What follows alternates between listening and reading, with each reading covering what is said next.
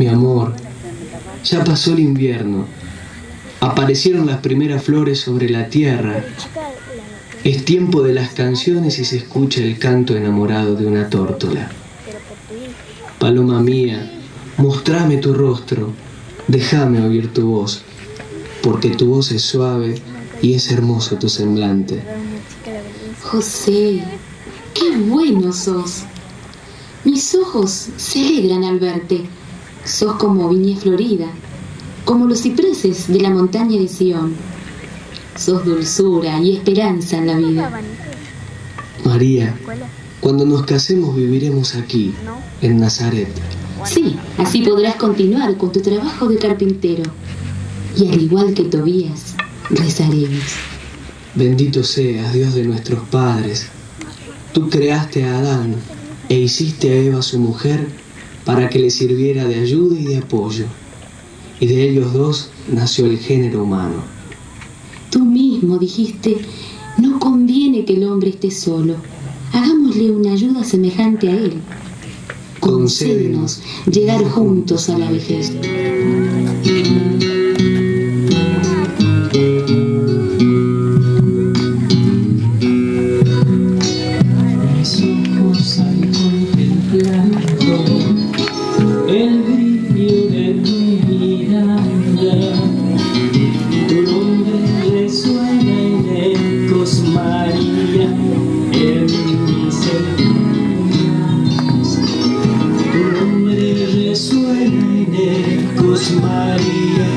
in recent days.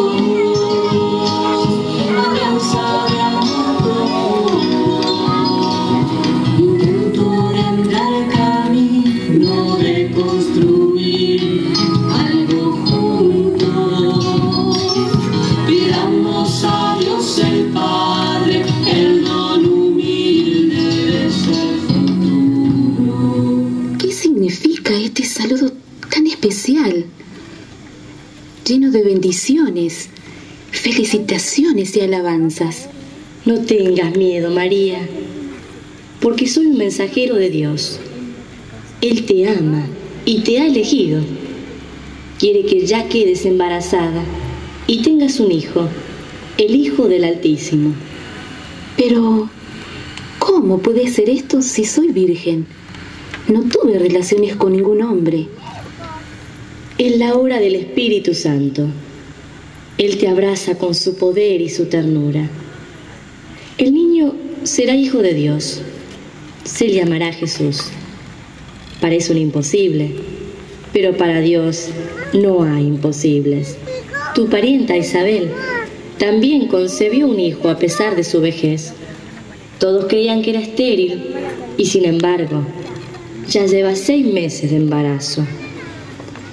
Puedes decirle que soy su servidora que se cumpla en mí todo lo que anunciaste.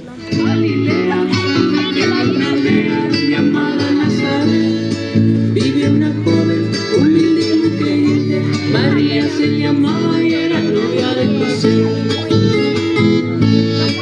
Un y se le presentó en su casa, porque resulta que lo mandaba Dios.